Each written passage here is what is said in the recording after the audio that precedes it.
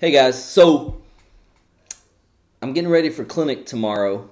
We have uh, the group of students that I'm currently working with have their very first ICU day tomorrow, and I know probably most of them, maybe many of them, are a little nervous, maybe a little apprehensive. I haven't worked with this group four out of the five of them I haven't worked with before.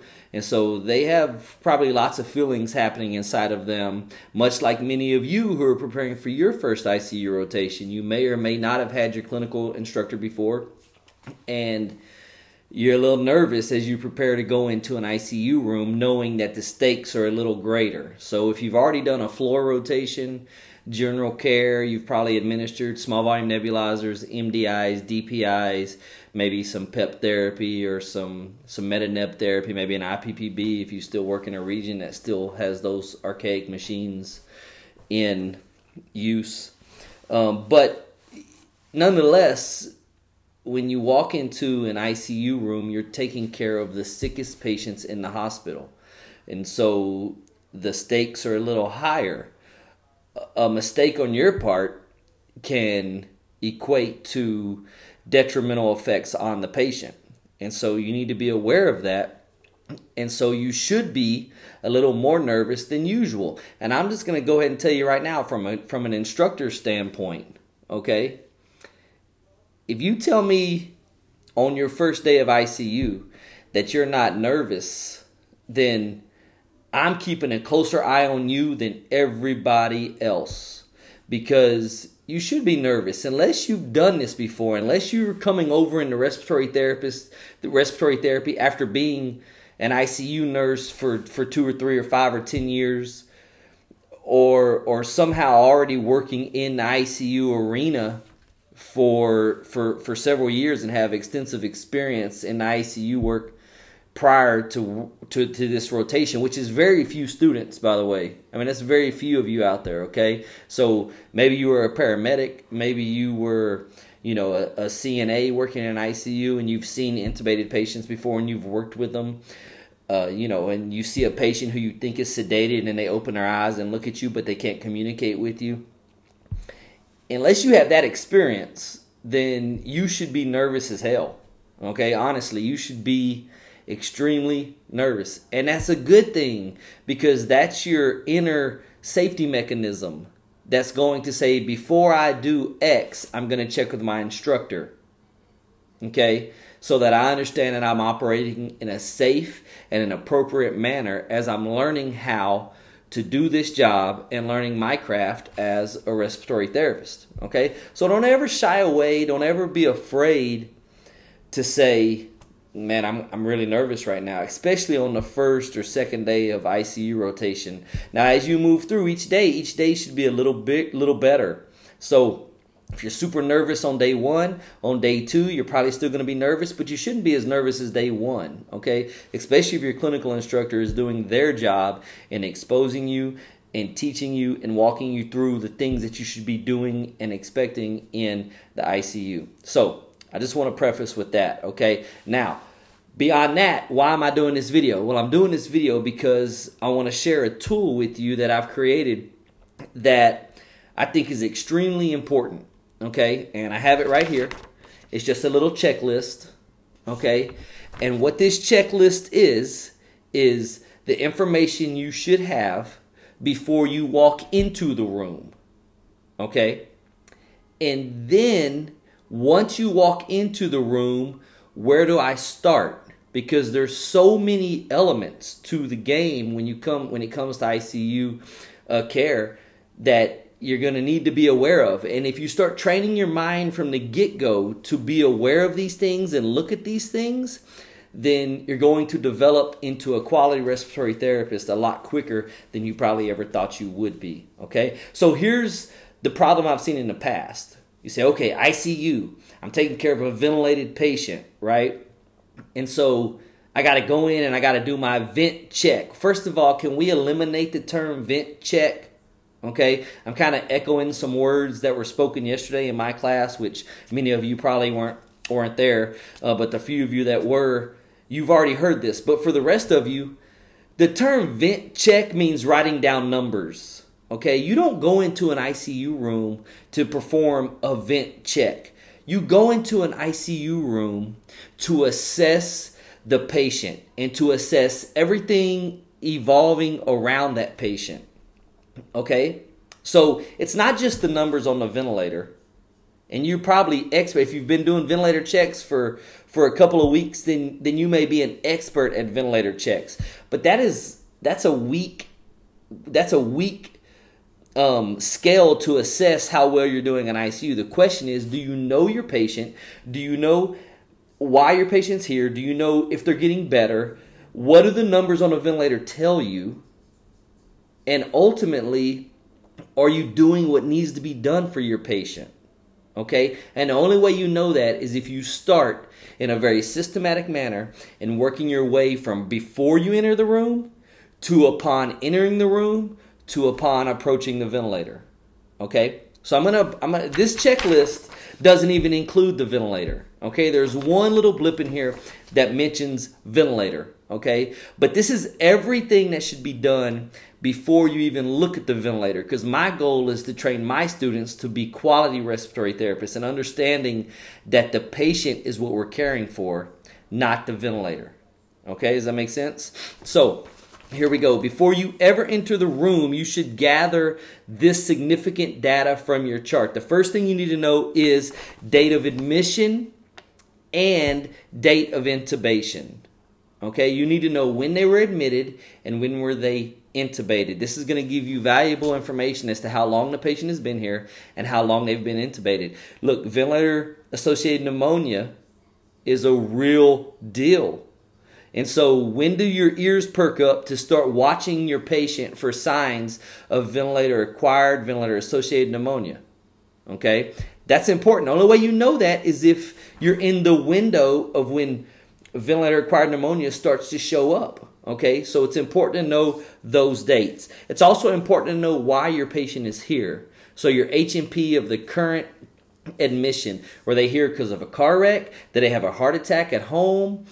are they COPD exacerbation? Are they asthma exacerbation? Exactly what brought them to the hospital this admission? Okay. Now, after that, it's important to understand any significant medical history because you may have a patient that comes in from a motor vehicle accident, okay, and they have, let's just say they have multiple trauma to their entire left side, and they were intubated upon arrival. Okay, that's good to know.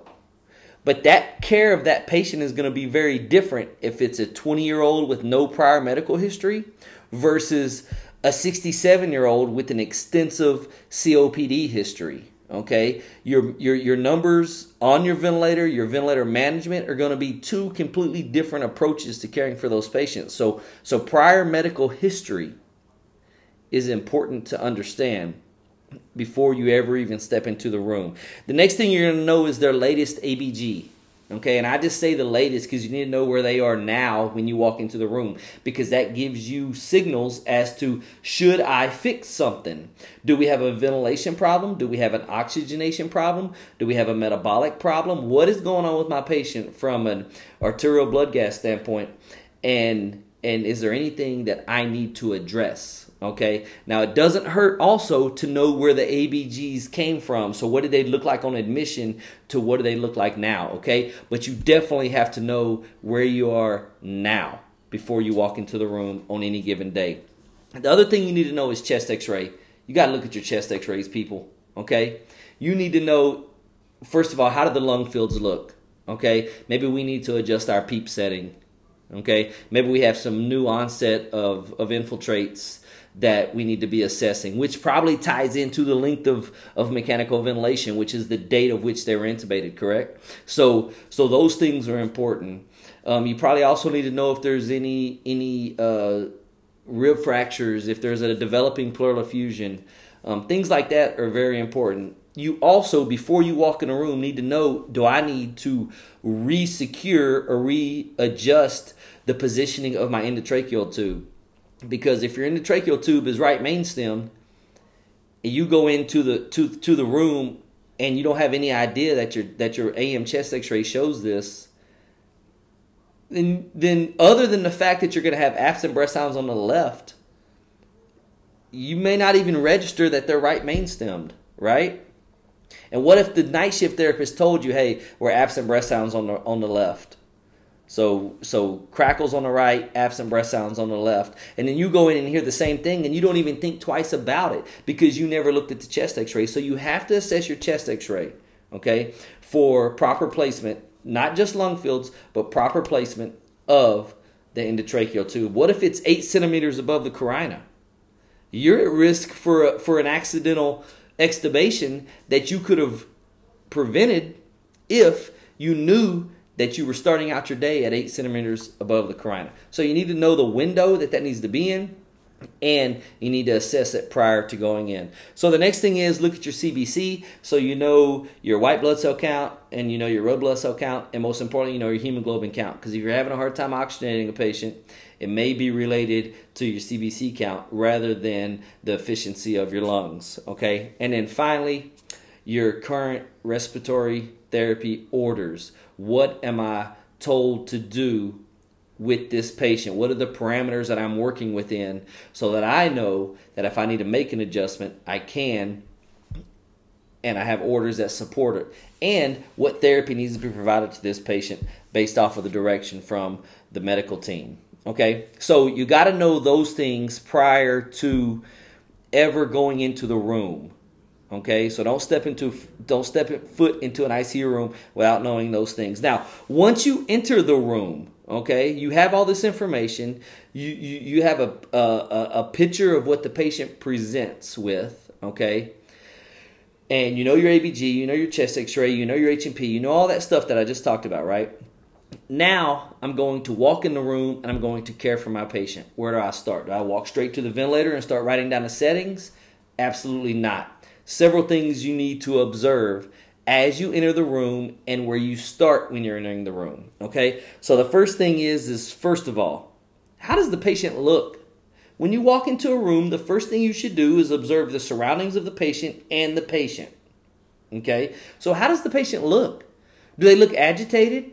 Do they look comfortable? Are they awake?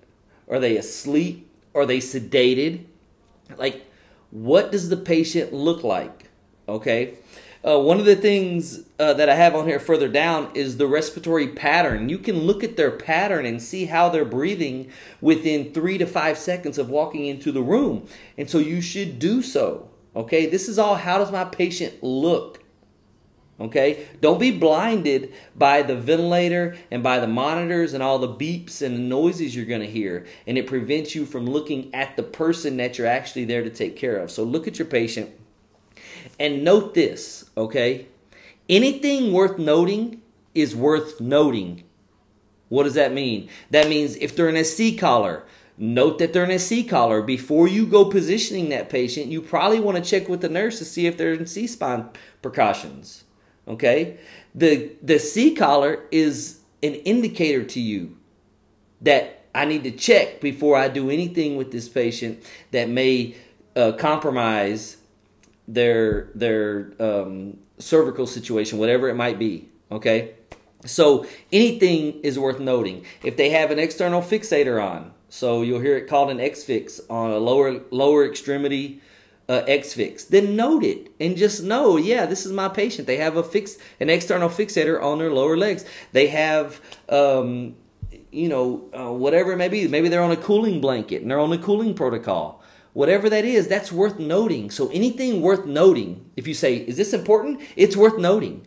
Okay? So note anything worth noting. The second thing you need to look for is is my emergency airway equipment present? Do I have an ambu bag at the bedside? Okay? An ICU room should have a clean, usable ambu bag and mask and PEEP valve at the bedside. So check for it. If your patient has a tracheostomy tube, they should have an obturator at the bedside. They should have spare trachs at the bedside. All of those things are emergency artificial airway equipment, okay, and emergency equipment that needs to be present prior to you getting into your care, your actual hands-on care of that patient. Okay? So the next thing I hear have here is do they have an airway? An artificial airway. And you just need to check do they have a tracheostomy tube? Do they have an oral ET tube? Do they have a nasal ET tube? What is the artificial airway? And make note of it. The size, the placement, is it properly secured? Because if it's not, you should start by fixing that. Okay, so artificial airways are extremely important. They're they're they're they're probably more than fifty percent of the reason our field actually exists, and you need to know that up front. Okay, the second thing are any lines, and when I say lines, I'm talking about peripheral IVs. I'm talking about central lines. Um, you know, um, IJ, you know, uh, interjugular lines, PICC lines, any lines where the patient is receiving medication. You need to take note of this, where they are, how are they positioned, do they look good?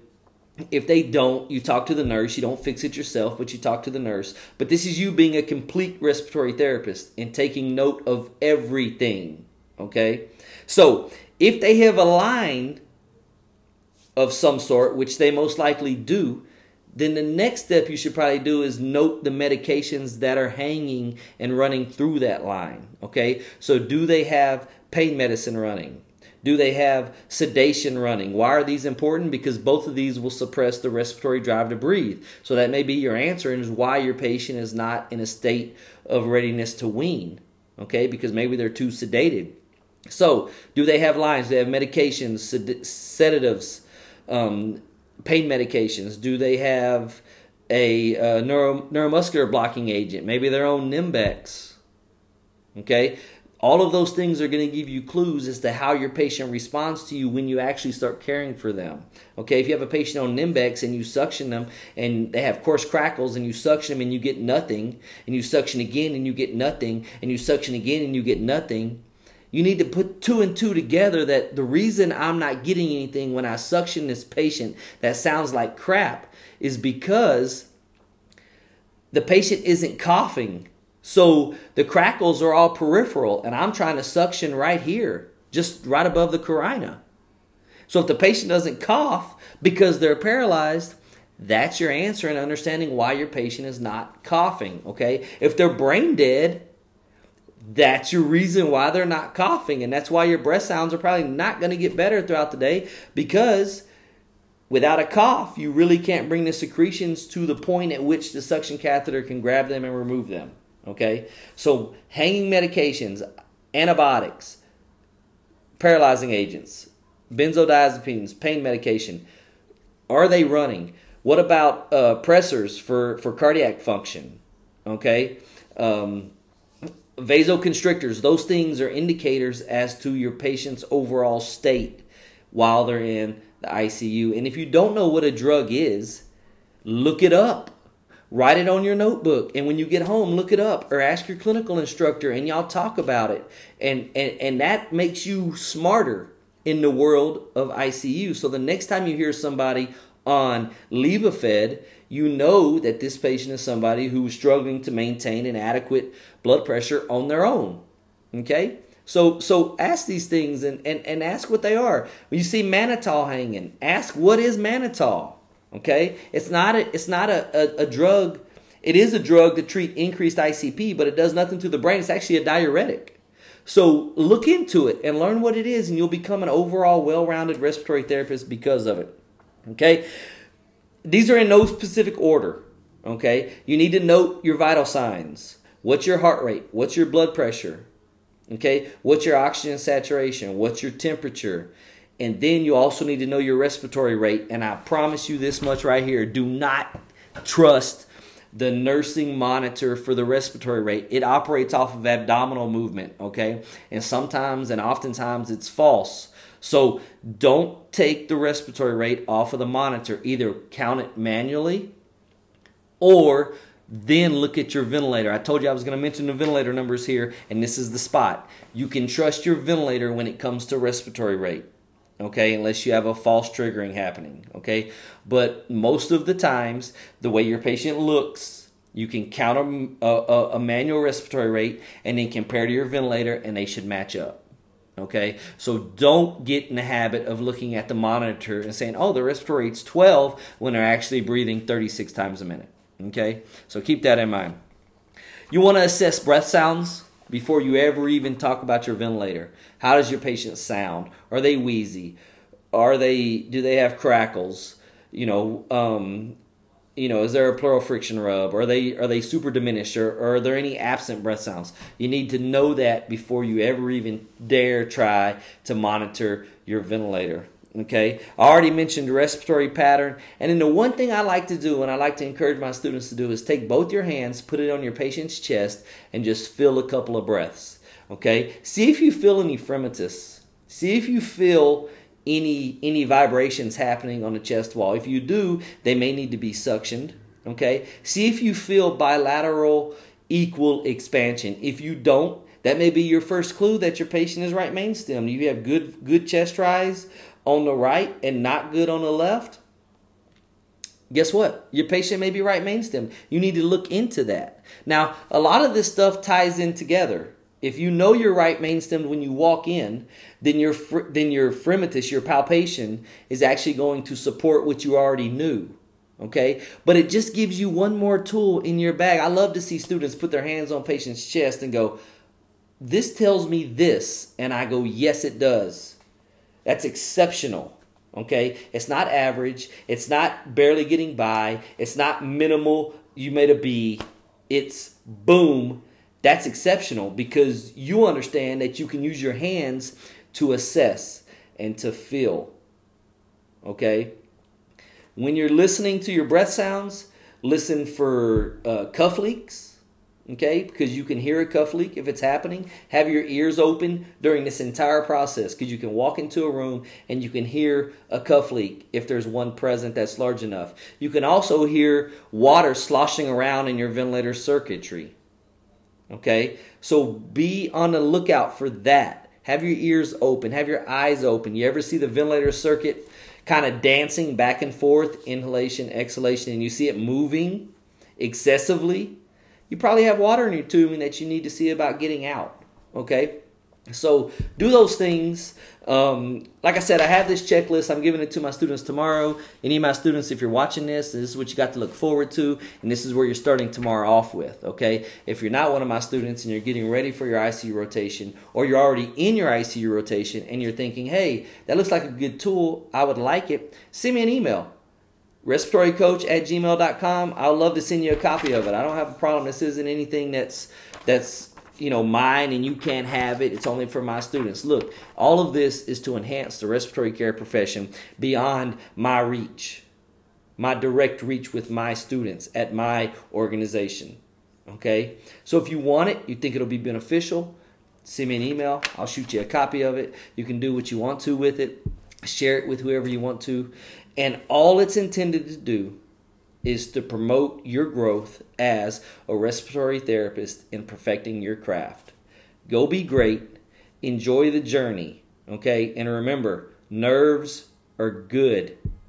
It doesn't feel like it all the time, but nerves are good. They protect you, they protect your instructor's license, they protect the patient from you doing something that you're probably not supposed to do. Okay, I hope you've enjoyed this video. If you would, please hit the button up there in the top of the screen. You can subscribe to my channel. If not, and you want to check out another video, I recommend this one. It's going to pop up right up here on the screen here, probably any second now. So good luck, guys. Have fun. Let me know if I can help you.